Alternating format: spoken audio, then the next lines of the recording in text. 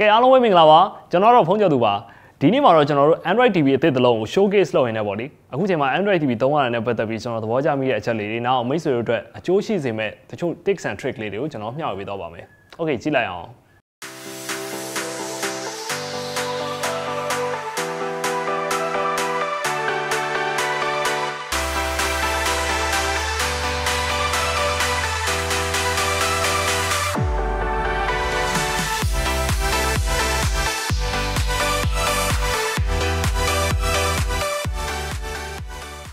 2020လောက်ကလေးကဒီ work from home တွေ stay at home တွေပေါ့လေအဲ့လိုမျိုး revolutionary ဆန်ဆန်ဖြစ်ပြီးတဲ့အချိန်မှာ consumer တွေအနေနဲ့ပေါ့လေဒီ TV သုံးတဲ့ use scenario တွေတော်တော်လေးပြောင်းသွားခဲ့တယ်မိတ်ဆွေအိမ်ကကလေးတွေဒါမှမဟုတ်တယောက် zone meeting တွေ zone class တွေတက်ဖြစ်နေတယ်ဆိုရင်ဒီလိုမျိုး Android TV တစ်လုံးရှိတာကျွန်တော်တို့ external monitor တစ်ခုလောက်တာလို့ရှိရင်ဘာမှ trade rule မလိုနေဘူး တခါတည်း Play Store ကနေပြီးတော့ Zone app ကို down သွင်းလိုက်အောင်ပဲအဲအဲ့လိုမျိုး convenient တော်တော်လေးဖြစ်လာတာတွေကအခုနောက်ပိုင်းမှာလူတွေပိုသုံးဖြစ်လာတော့ပိုသတိထားမိလာတယ်ပေါ့နော်အဲအကြောင်းလည်းအခုလိုမျိုး Android TV တွေပို့ပြီးတော့အရင်အထက်ဆိုင်ပေါ့လေရောင်းအောင်ကောင်းလာတယ်လို့ကျွန်တော်မြင်တယ်ပြီးတော့နောက်တစ်ခုကတချို့မိဘတွေနေနေပေါ့လေကလေးငယ်လေး screen time များလို့မျက်စိထိခိုက်မှာပါညာစိုးရိမ်နေကြတာမျိုးရှိတယ်အဲ့လိုအနေအထားမျိုးမှာဖုန်းပေးမသုံးချင်ဘူးဆိုပါစို့ alternative အနေနဲ့ဒီလိုမျိုး Android TV တစ်လုံးပေးထားပြီးတော့ငြိမ်းစေးပေးထားလို့ရတယ် screen ချင်းတူတူမှာ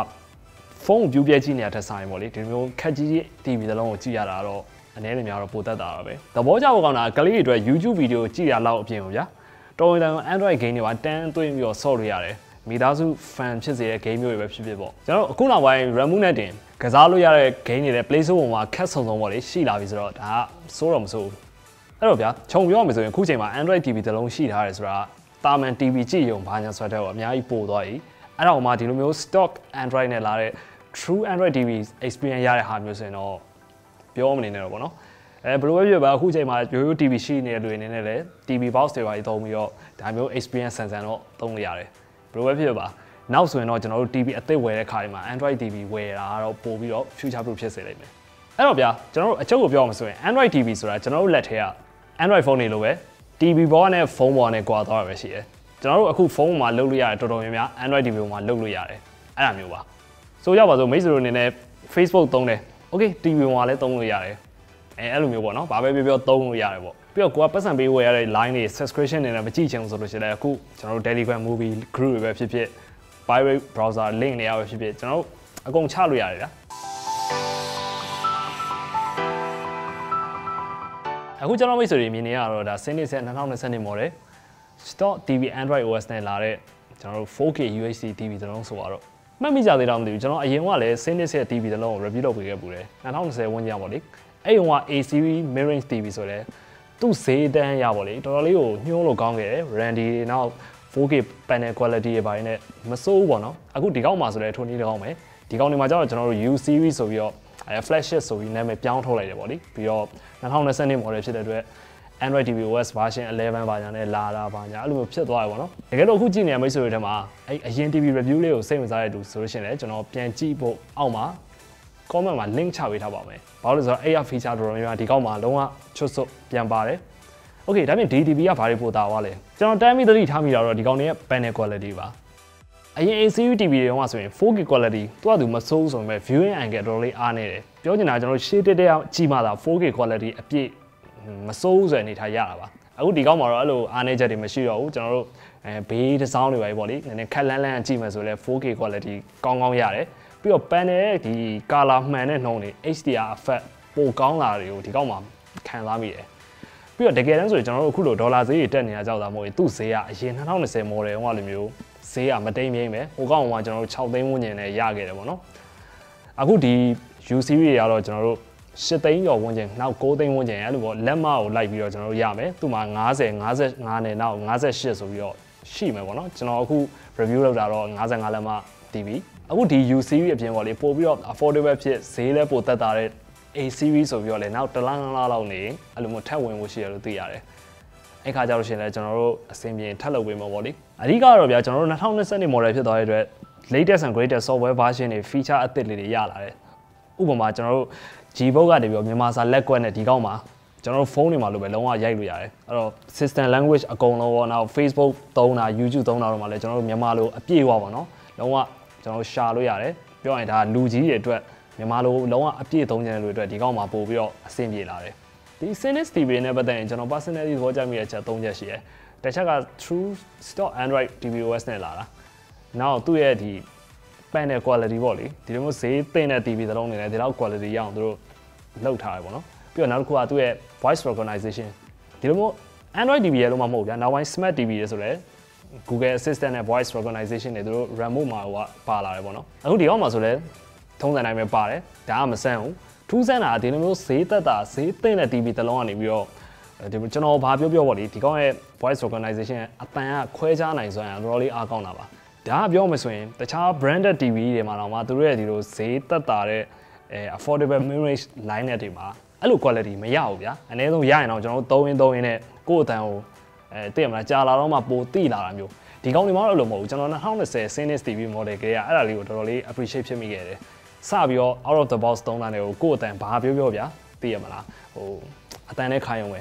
ဒါကတကယ်တော့ Android TV ဒီလိုမျိုးနောက်ပိုင်း TV တွေအကုန်လုံးမှာလုံးဝမဖြစ်မနေလိုအပ်တဲ့အချက်ပဲ ဘာလို့လဲဆိုတော့ကျွန်တော်တို့အကုန်လုံးကိုသိမလားလိုက်ပြီးတော့ရှာစာရိုက်ရှာနေရအောင်လည်းအဆင်မပြေဘူးဒီကောက်မှာဆိုလည်းအခု TV remote တွေကစ modernize ဆန်ဆန်လုံးဝဖြစ်သွားပြီပြီးတော့ True Android TV သလုံးအနေနဲ့ဒီကောက်မှာ Google Play Store နဲ့ Google Feature Access အကုန်ရတယ်ပြောချင်တာကျွန်တော်တို့ third party application တွေကြော်ခွသွင်းနေတာသုံးနေတာမျိုးဘာမှမလိုနေတော့ဘူးပြောရမယ်ဆိုရင် out of the box စပြီးတော့ set up လုပ်ပြီးသုံးကြတဲ့ဟိုကလုံးဝ convenient ဖြစ်တယ် ဟိုဘာမှ tech နဲ့ပတ်သက်ပြီးတော့မသိနေတဲ့လူတော်မှပေါ့နော်ဒီကောင်ကို set up လုပ်ပြီးတော့တန်းသုံးရုံပဲအဲ့လောက်ထိကို convenient ဖြစ်တယ်အခုကြည့်တယ်မိတ်ဆွေတဲ့ဘောလုံးဝဲဝါနာအိုးတွေပါဆိုလို့ရှိရင်လည်းကျွန်တော်တို့သိကြပါတယ် hdlive.com တို့နောက် yesing tv တို့လိုအဲ့လို website တွေကနေပေါ့လေဒီကောင်မှာ AC တန်းကြည့်အောင်ပဲပြောချင်တာကျွန်တော်တို့ subscription ဘိုးတွေနောက် TV line ဘိုးတွေဘာမှဟိုကုန်မနေတော့ဘူးပြောလို့ပြောတော့မဟုတ်ဗျာဒီကောင်ရဲ့ panel quality ကကျွန်တော်တို့ spec မကြည့်ခင်ကတည်းကပေါ့လေပိုကောင်းလာတယ်ဆိုတာကိုခံစားမိတယ် သူ့အရင် Synix TV ရဲ့လုံးဝမှာမဟုတ်ဘူးကျွန်တော်တို့ဒီဈေးဝန်းကျင်တခြား TV နဲ့ရှင်မယ်ဆိုလဲဟိုနှိမ့်နေတယ်ပြက်ကြံနေတယ်ဆိုတာမျိုးမခံစားရဘူးဒီ product line ရဲ့ motivation က Ultra Entertainment Ultra Experience ပေါ့လေဒါ Synix ဘက်က motto ပေါ့မစိုးပါဘူးသူတို့လုပ်တဲ့ approach က 4K ကိုကျွန်တော်တို့ဈေးအသင့်အင့်နဲ့ကောင်းနိုင်များကောင်းကောင်းအဲအဲ့လိုရအောင်ဆိုတဲ့ပုံစံမျိုးအရင် Synix TV နဲ့မပြောနိုင်ဘူးဗျာဒီလိုမျိုးဈေးတန်းလူတခြား TV နဲ့ရှင်မယ်ဆိုတော့သူ့ panel ကဘယ်လိုပဲဖြစ်ဖြစ်ပေါ့နော်ကြည့်ရင်ကြည့်ရင်မစိုးကောင်းတယ်ဆိုမျိုးပဲကျွန်တော်တို့ခံစားရတယ် သူ့ရဲ့ space အရာကြီးမှာဆိုတော့ကျွန်တော်တို့ E+ panel တွေရောအဲ super resolution မှာ AI နဲ့ enhance လုပ်ပေးတာတွေရော HDR10 တွေရော HDR10 Plus တွေရောအဲလိုမျိုးပေါ့နော်ဒီ display panel ဘိုင်းနဲ့ပတ်သက်ပြီးတော့တော်တော်လေး support လုပ်ထားတာတွေ့ရတယ်သူ့ရဲ့အတန်ပိုင်းအနေနဲ့ပြောရင်ဒီကောင်မှာ24 watt speaker box ပဲပါတယ်ဒါပေမဲ့ volume ကျယ်ကျယ်ဆိုဒီကောင်ရဲ့အတန်ကျယ်တဲ့နှောင်တော်တော်ကြီးကိုကျယ်တယ် volume 50% permanent scientific settlement in Antarctica, at the Antarctica Esperanza Base. ကဲဘယ်လိုထင်ကြလဲတော်တော်ကျယ်နော်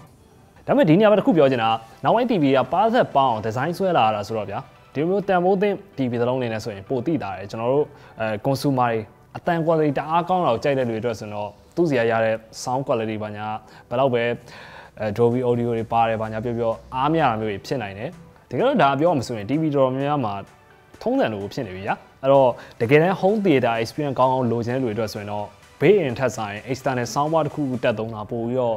အဆင်ပြေလိမ့်မယ်ကျွန်တော် Synix ကိုမေးကြရတော့ဒီကောက်မှာလည်း Synix ရဲ့ soundbar ရှိတယ်ကျွန်တော်တို့တသိန်းကျော်ကျော်လောက်နဲ့ဝယ်လို့ရတယ်ပေါ့နော်အဲ့တော့ brand အစုံလိုက်သုံးချင်တဲ့လူဆိုလို့ရှိရင်လည်းတခါတည်း TV ဝယ်ရင်းနဲ့ဝယ်သွားလို့ရတယ်ပေါ့နောက်တစ်ခု minority အနေနဲ့ပေါ့လေသဘောကျကြကောင်းတာတွေဒါတွေကမှ TS တို့ S2 တို့နောက် Chromecast တို့ AirPlay တို့အဲအဲ့ဒါမျိုးတွေဘေးရင်တခါတည်းပါပြီဒါတော့ကိုက ဘာနဲ့လှုပ်လို့ဗျာသိရမလားဂျားကန်ထပ်ပြီးတော့ဆင်ရတာတွေဂျားကန် box တွေထပ် join လုပ်ရတာတွေဘာမှလိုမနေတော့ဘူးဒါလေးကတော့မစိုးဘူးပေါ့နော်ဘာပဲဖြစ်ဖြစ်ကျွန်တော်တို့အနေနဲ့ TV လုံးဝယ်ပြီဆိုရင်တော့တော်ရင်လူရေရှည်သုံးကြတာပဲများတယ်အဲ့တော့ Randy ဘာညာပါတာတော့ပို့ပြီးတော့စိတ်အေးရတယ်ပေါ့လေ Synix ကိုကျွန်တော်မေးကြည့်တော့ဒီကောင်မှာ full year full run တွေအပြည့်ပါတယ်အဲ့ဒါအဲ့တော့မှနောက်နှစ်တွေအတွက်ဆိုလို့ရှိရင်ပြင်ဆင်ခ free အဲ့လို run တွေထပ်ပေးတယ်ပေါ့လေကဲဒါပြ DDB ကဘယ်လိုလူအတွက်ဖြစ်မလဲ conclusion ချရမယ်ဆိုရင်တော့ Synix ကကြေညာထားလို့ပေါ့လေ Ultra Entertainment Ultra Experience bla bla bla ဆိုတဲ့အတိုင်း 4K quality TV ရောမှာကျွန်တော်တို့ဈေးအသင့်အသင့်နဲ့ကောင်းတယ်များကောင်းကောင်းရကျင်တယ်အဲနောက် panel quality ဘာညာလဲကောင်းဖို့လိုတယ်အဲအဲ့တော့မှ display size ပေါ့လေ55လက်မှ58လက်မှရဲ့အထိအဲရွေးပြီးတော့ဝယ်ချင်တယ်ဈေးလဲသိရမလားဟိုအများကြီးတွေမသုံးချင်ဆိုတဲ့လူတွေအတွက် ဒီကောင်လေးကထည့်စင်သားကြအနေထားတစ်ခုပဲကျွန်တော်ကိုယ်တိုင်စမ်းကြည့်ရတော့လဲအရင် Synix TV model ထက်ကိုအများကြီးပို့ပြီးတော့ panel quality တော်တော်ကြီးကောင်းလာတယ်နောက် base quality ဘိုင်းရပြောမှဆိုလဲအရင်လို plastic body ဘာညာမဟုတ်တော့ဘဲ metal body frame တွေဖြစ်လာတယ်အဲတော့အဲ့တော့ပို့ပြီးတော့ premium နည်းနည်းပိုဆန်လာတယ်ပေါ့နော်အဲ line up နာမည်ကိုလည်း A series ကနေပြီးတော့ U series ဆိုပြီးတော့ကျွန်တော်တို့နာမည်ပြောင်းလိုက်တယ် extra အနေနဲ့ပြောမှဆိုတော့ဒီကောင်မှာ port တွေစုံတာနောက် Bluetooth 5.0ဖြစ်တာရဲ့အဲ့လိုမျိုးလေးတွေလည်းပါလာတယ် ဒီ April လထဲမှာဆိုရင်တော့ဒီကောင် promotion cashback 3သိန်းစီ discount ချပေးထားတယ်လို့တော့သိရတယ်အဲအဲ့ဒါနဲ့ပတ်သက်ပြီးတော့ detail အသေးစိတ်ကိုတော့ကျွန်တော်တို့အောက်က comment ထဲမှာအဲဖော်ပြပေးထားပါမယ်ကဲအခုကြည့်နေကျွန်တော်မိတ်ဆွေတွေဘယ်လိုသဘောရလဲဒီကောင်လေးကတန်တယ်လို့မြင်လားသူ့ panel quality ဘာညာသဘောကျရလားဒါမှမဟုတ်ကိုယ့်ရဲ့အမြင်တွေကျွန်တော်လည်းမတူတာရှိလို့ရှိရင်လည်းအောက်မှာလွတ်လွတ်လပ်လပ်ဝင်မှန့်သွားလို့ရပါတယ်ကျွန်တော်တို့ဆွေးနွေးကြတာပေါ့အဲအဲ့လိုပဲလိုအပ်မယ်ထင်တဲ့ကိုယ့်ရဲ့မိတ်ဆွေညီကိုမောင်နှမတွေရှိလို့ရှိရင်လည်း mention ခေါ်ခဲ့လို့ရပါတယ် sharing scaring ပါ ဟုတ်ကဲ့ကျွန်တော်ကတော့ဖုန်းကြော်သူဖြစ်ပါတယ်နောက်ဗီဒီယိုတွေကြာရင်ပြန်ဆောင်ကြတာပေါ့